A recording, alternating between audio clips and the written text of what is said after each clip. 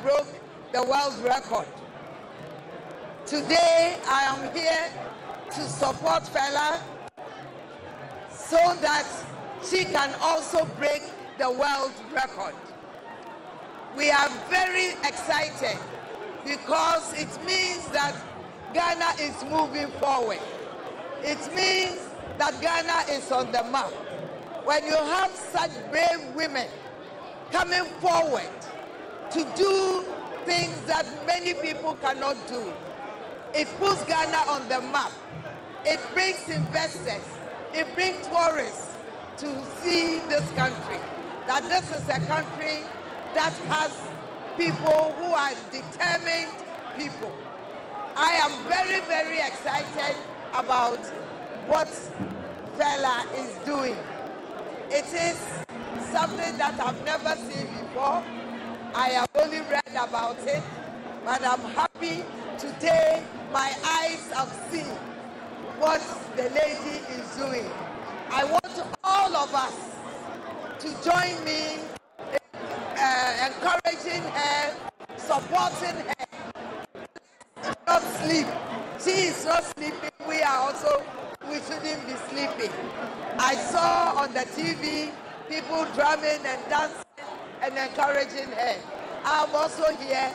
I can't drum and dance, but at least I can have some encouraging words to give to her. She has done well. I commend her family for also allowing her to take on such a responsible and a courageous uh, activity. I am very confident that she will clock. Uh, what, what, what are we trying to do? How many hours? One, we should, we should go about 135, 140. We are going to pray that whatever strength God can give her, let him give him her so that she can break the world record and Ghana will be on the map. Thank you very much. I didn't come empty-handed as they say in our culture. I brought some foodstuffs. She's cooking. So we have some rice.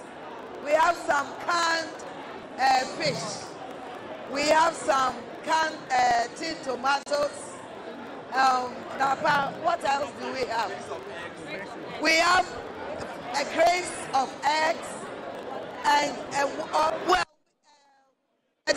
whilst uh, getting on to do things that others have also done before, but we can do better.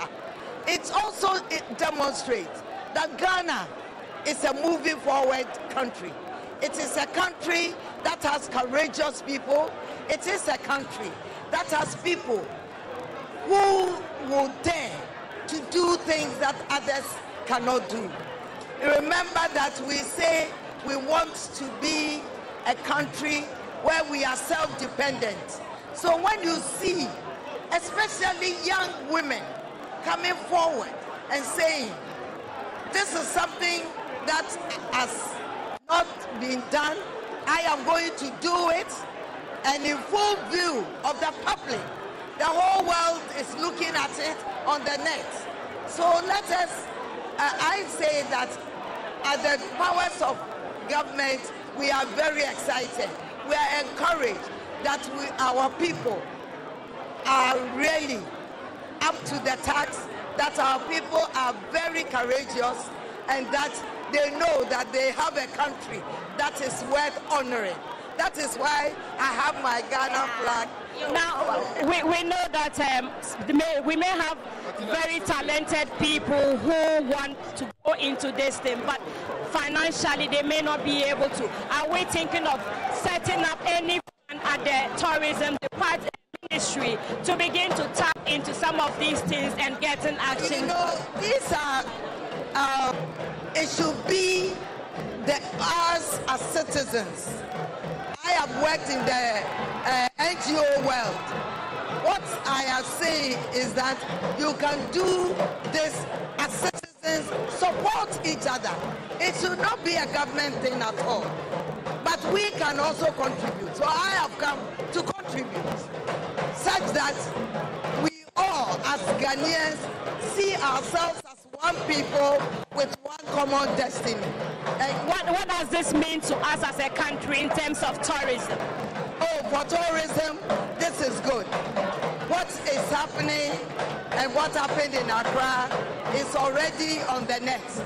People are seeing Ghana, that this is a country worth visiting. So for tourism, it will bring a lot of interest into people and also investors. Thank you very much, madam.